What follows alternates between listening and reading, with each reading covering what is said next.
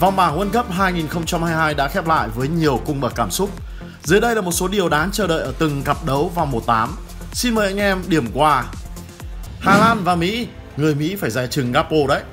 Không phải những ngôi sao như là Frankie de Jong hay là Virgil van Dijk mà tiền đạo Cory Gakpo mới đang là cái tên gây ấn tượng nhất của đội tuyển Hà Lan ở World Cup 2022. Tại câu lạc bộ PSV Eindhoven, Gakpo đang có một phong độ cực cao và anh tiếp tục thể hiện cái duyên đáng nể khi công hiến cho Orange ở ngày hội bóng đá lớn nhất hành tinh diễn ra trên đất Qatar.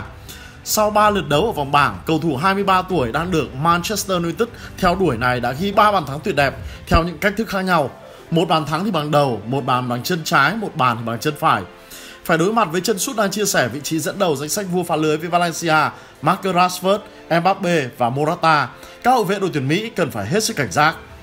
Argentina với Australia, hàng thủ Australia lại bị thử thách. Trong hai trận đấu gần nhất, Australia đều giữ sạch lưới. Họ đánh bại Tunisia và Đan Mạch cùng với tỷ số tối thiểu. Nhờ sự xuất sắc của cặp trung vệ Harry Sauter và Cairo, có thể nói bộ đôi mới bình phục chấn thương đầu gối và bàn chân trước thềm World Cup 2022 này đã góp công lớn giúp Australia ghi tên mình vào vòng 1-8. Tuy nhiên, khi phải đối mặt với những chân sút đẳng cấp hơn, Shouter và Rowe lại thường bộc lộ những sơ hở.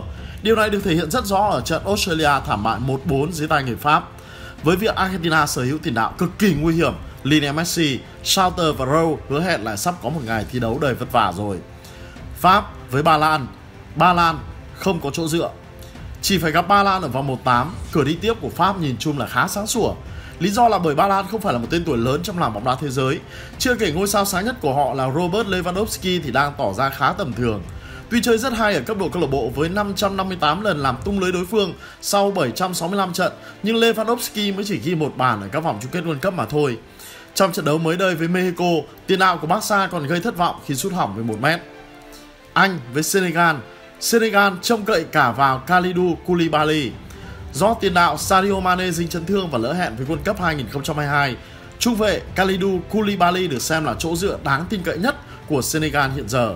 Tuy nhiệm vụ chính là phòng ngự, nhưng Koulibaly vừa sắm vai người hùng khi ghi bàn thắng quyết định giúp Senegal đánh bại Ecuador với tỷ số 2-1 để ghi tên mình vào vòng 1-8.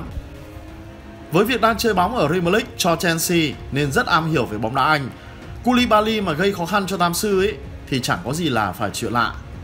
Nhật Bản với Croatia chờ kịch hay trong hiệp 2.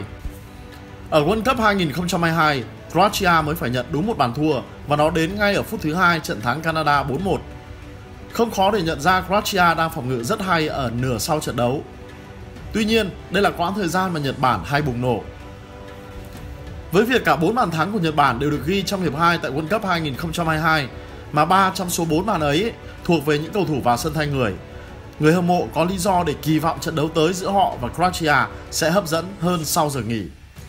Brazil với Hàn Quốc Seleção thì chẳng cần Neymar, Son Heung-min không thể thay thế.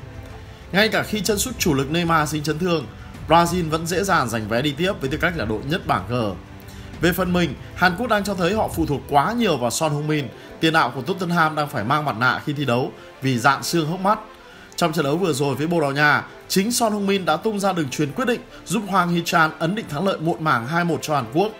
Do Son Heung-min quá quan trọng, anh mà bị khóa chặt ấy, thì Hàn Quốc khó tránh được thất bại trước Brazil. Maroc với Tây Ban Nha, công cường gặp thủ chắc. Tây Ban Nha đang sở hữu hàng tấn công mạnh nhất World Cup 2022 với 9 lần làm tung lưới đối phương sau 3 trận. Trong khi đó, hàng phòng ngự của Maroc thì đang tỏ ra cực kỳ chắc chắn khi mới để thua có vỏn vẹn có một bàn. Khi đã xuất sắc ngăn chặn mọi đợt tấn công của hai đối thủ là sừng sỏ Croatia và Bỉ, hàng thủ Maroc xứng đáng là thuốc thử liều cao dành cho các chân sút sắc bén của Tây Ban Nha. Bồ Đào Nha với Thụy Sĩ đã đến lúc Ronaldo lui vào hậu trường rồi. Bất chấp việc Bồ Đào Nha đã có tên ở vòng 1-8, tiền đạo Cristiano Ronaldo của họ vẫn gây thất vọng khi chưa thể hiện được gì nhiều. Đến giai đoạn này của giải đấu, anh mới chỉ ghi được một bàn trên chấm đá 11m ở trận Bồ Đào Nha thắng Ghana 3-2. Với việc Ronaldo vừa có màn trình diễn tệ hại trước Hàn Quốc, không có cú sút trúng đích nào và còn vô tình dùng lưng kiến tạo cho cầu thủ đối phương ghi bàn nữa. Có lẽ huấn luyện viên của đội tuyển Bồ Đào Nha Fernando Santos nên trao cơ hội cho ai đó xứng đáng hơn khi bước vào trận chiến sống còn với Thụy Sĩ.